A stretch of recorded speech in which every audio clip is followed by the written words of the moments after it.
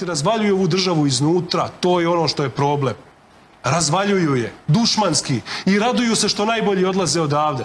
Pa ko je uništio srpsko obrazovanje? Pa naše vlasti su ga uništili. Mi možemo se ljutimo i na ove, ono, mi smo ga uništili, naša, naše vlasti. Razvalile ga, razorile. Zašto služi osnovno i srednje obrazovanje? Da se izvuku pelceri, da se prepozna talenat. Ovaj ministar neki dan kaže tržište rada. Pa šta mislite šta bi bio Mihajlo Pupin što kaže Miodrag Zec da se gledalo šta, je, šta traži tržište rada?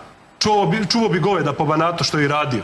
Ali je neko prepoznao izvuko pelcera iz Pupina i obogatila se Amerika i Pupin. Dakle, mi moramo da shvatimo da moramo da izvučemo najbolje ljude odavde, iz ovog sistema. Malo nas je ostalo. Malo je naše omladine ostalo u ovoj zemlji da živi uprkos ovim nedaćama u kojima žive. Malo. Uprkos. Ljudi ne žive u ovoj zemlji zbog zadovoljstva i oduševljenosti životom u Srbiji zbog ove političke kaste koje imamo 30 godina koji samo smenjuju, nego uprkos tome žive ovde. I mjesto da izvučemo najbolje sinove iz ovog sistema i da ih postavimo na najbolje pozicije, mi izvlačimo škart. I onda se čudimo, neko nam je kriv sa strane što mi izvlačimo škart odavde. To mene boli kao čoveka, nije više ovde bitna ni koalicija, ni rada, ni poks, ni bilo ko. Ovo ljudskog aspekta priča. Starlete izlačimo iz sistema, uđite u bilo koje ministarstvo, jer starleta ne možete da uđete. Ja sam to rekao i u prošloj emisiji, milion puta ću ponoviti. Svim ovim političarima koji su napravili bolestni poredak i hoće da nas ubede kako je ovo Švajcarska ili bolje od Švajcarske, raj na zemlji, Srbija. Da se susretnu sa ovim sistemom zdravstva kojim imamo ovdje, iako imamo i dan danas kvalitetnih doktora, ali svi streme da odu odavde, mi nećemo ništa da ih zadržimo.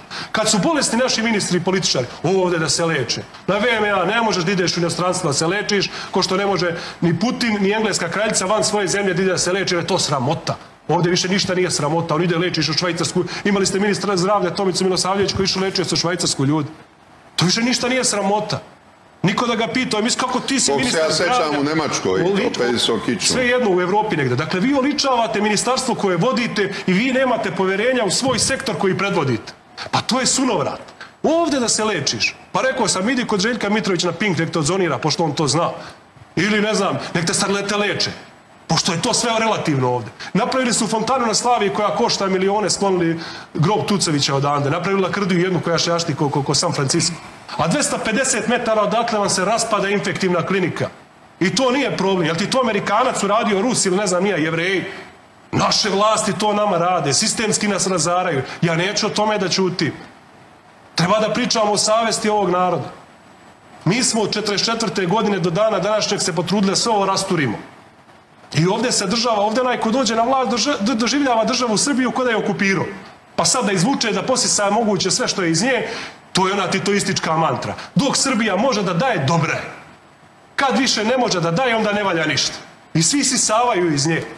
Ja garantujem da danas na državnim položajima, posebno ministarstvo spoljnih poslova, ministarstvo unutrašnjih poslova po raznoraznim ministarstvama, ima, i ministarstvima, imate više ljudi koji vole mrtvu Titovu Jugoslaviju nego ovu živu Srbiju. Vole je. A Srbiju mrze. Ne da je ne vole, nego je mrze. I kad ih pitate, pa ljudi, kako vas nije sramota, ajde, borili ste se, moji su se borili protiv Jugoslavije, Tito je plaćali cenu u redu stvar, ali joj nisu služili. A vi služite državu koju ne volite. On kaže, pa jeste, ali devizna platica je devizna platica. Eto kakvi nas ljudi predstavljaju u Evropi i svijetu. Ja sam vam pokušao da nabrojim ko su bili ministri odbrane u Kraljevini, Jugoslaviji, Draža Mihajlović na kraju, pre toga Stepa Stepanović, putnik, šta ja znam, ko, ko je sam upravljao vojskom u to vreme? Ko je danas čini savjet bezbednosti nacionalno? Vulin, Siniša Mal. Se prekrstite i levom i desnom rukom. Dakle, mi smo razvarili sve institucije u ovoj državi. Sve. Naši političari su sve razorili razbucali. I sad se mi pitamo što nam je ovako kako jeste. Pa zato što su oni napravili raj za sebe, a nesreću za stanovništvo. To je to.